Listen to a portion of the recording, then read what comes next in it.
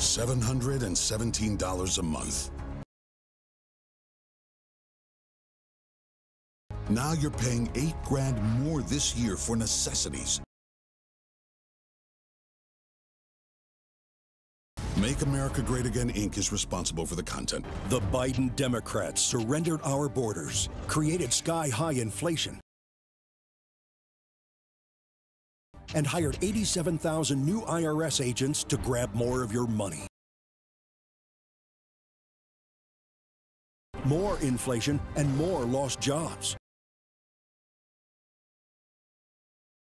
Blake Masters and Kari Lake. Giving stimulus checks to illegal immigrants, hitting middle class families with tax hikes, creating sky high inflation.